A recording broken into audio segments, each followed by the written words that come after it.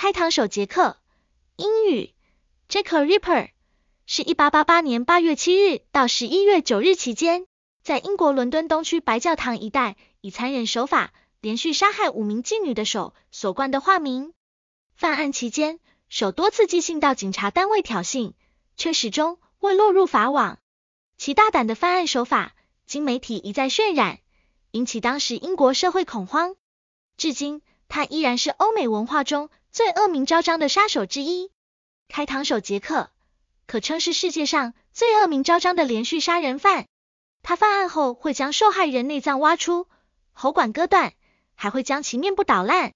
虽然案件距今已逾百年，但有关该案的书籍与相关研究从未间断。由于缺乏证据，真的身份与真实犯案原因仍是众说纷纭，令案情更加扑朔迷离。但是，开膛手杰克的身影却透过媒体、摇滚乐、玩具等物品，不断出现在当今的流行文化之中。网络上盛传开膛手杰克已查出真的流言，起因于英国作家拉塞尔·爱德华兹 （Russell Edwards） 买下当年的证物凯撒琳·埃多斯的披巾时，突发奇想的将披巾拿去进行 DNA 检测，希望能破这百年的悬疑杀人案。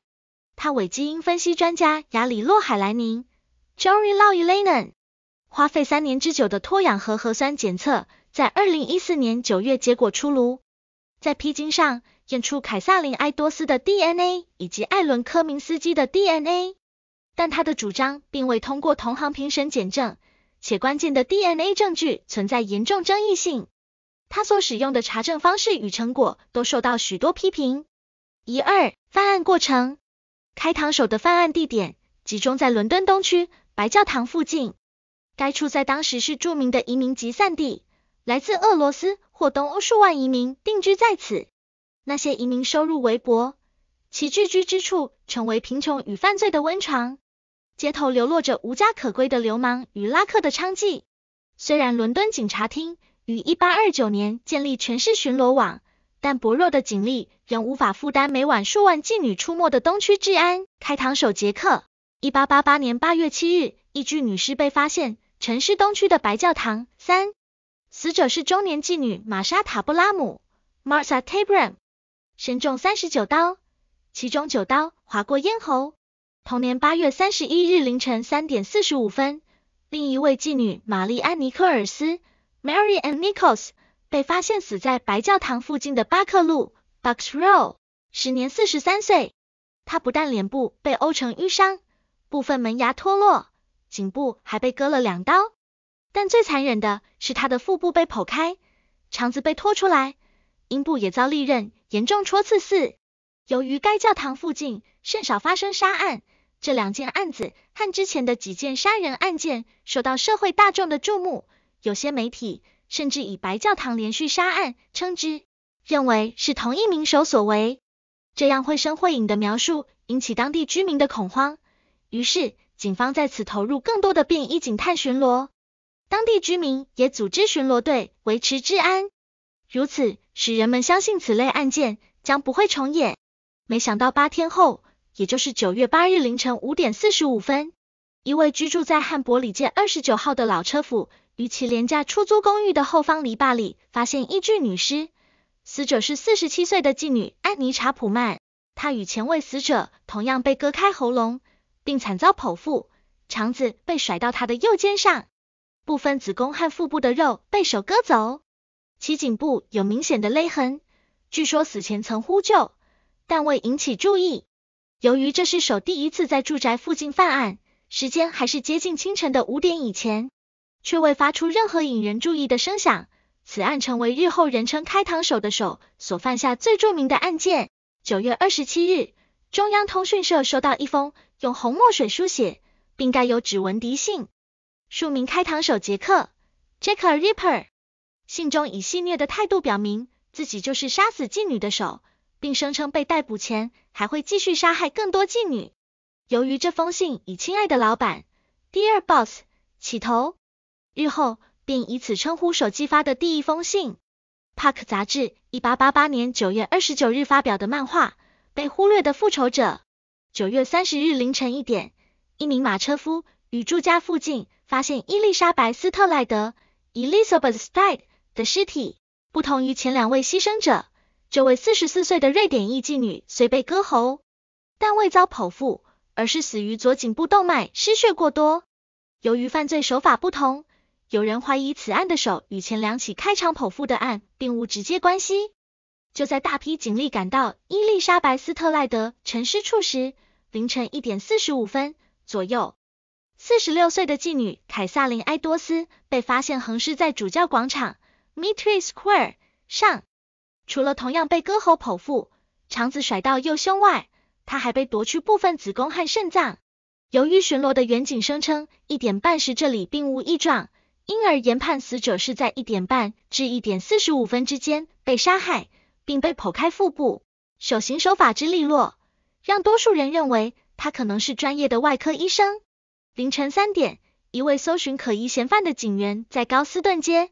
Boston Street 附近发现件沾满血的衣物，经过定是凯撒琳·埃多斯身穿围裙的一部分。而在衣物掉落的附近高墙上，发现疑似手用粉笔写下的一行文字：犹太人不是无故被怨恨的民族。The Jews are not a man that will be blamed for nothing。但另有刑警记得写的是 The Jews are a man that will not be blamed for nothing。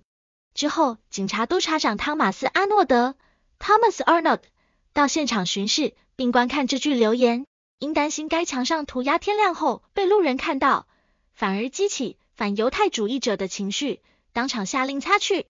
最后一位受害者，隔天，也就是十月一日，中央新闻社又收到一封明信片，内文同样以红墨水写成。信里，写信者自称是调皮的杰克。Saucy Jackie，并提到他打算隔天再干两件事，一般认为就是九月三十日凌晨伊丽莎白·斯特赖德和凯撒琳·埃多斯这两起命案。另外，写信者提到打算割下死者的耳朵寄给警方，这与凯撒琳·埃多斯遗体外耳损毁的情形类似。最后，写信者同样留下开膛手杰克的署名，而日后便以写信者自称的调皮的杰克 Saucy Jackie。称呼该信件疑似手机发的第三份讯息。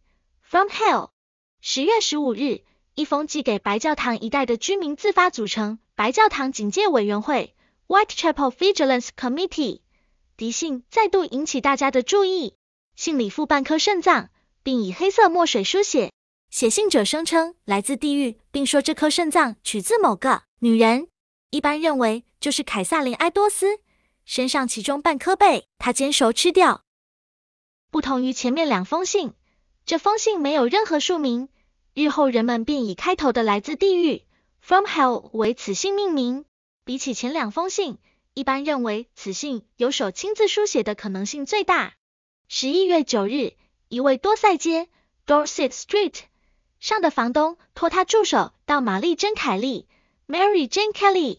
的房间收六个星期未缴的房租，却从窗口发现这位二十五岁的年轻妓女惨死在床上。她全身赤裸，颈部有勒痕，胸部和腹部被剖开，心脏遗失，脸部的耳鼻和乳房也被割掉。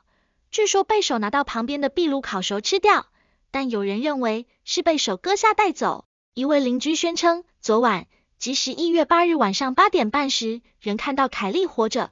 不过他对凯莉的长相描述不完全正确。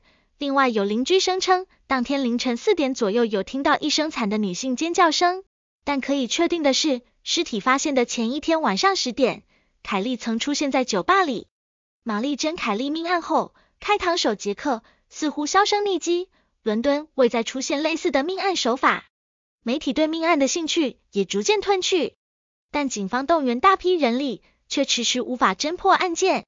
饱受包括维多利亚女王在内的英国各界人士批评，进而导致警界高层的异动。一八九二年，警方宣布停止侦办白教堂连续杀案。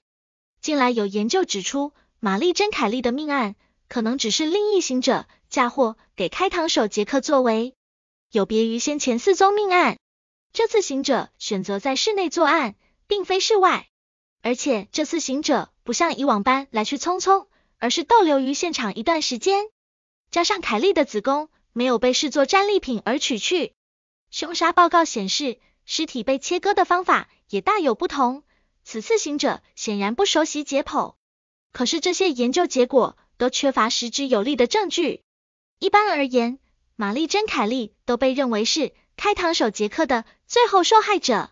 贫困的东区长期被富裕的社会所忽视，但连续杀案和受害者的出现不得不引起对他们生活条件的关注。这种关注意味着当时的社会改革者终于能让有钱阶级倾听，并相信必须做些事来帮助穷人。肖伯纳寄给新杂志。Star 的一封信里讽刺的评论媒体这种突如其来的关怀。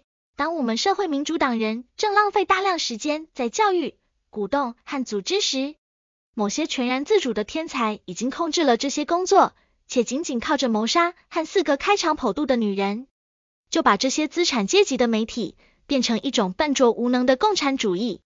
另外，开膛手杰克已成为许多小说里出现的象征人物。无论是作为主要角色或更编的人物，参见开膛手杰克小说。而开膛手在大众文化中也已以另一种形式出现。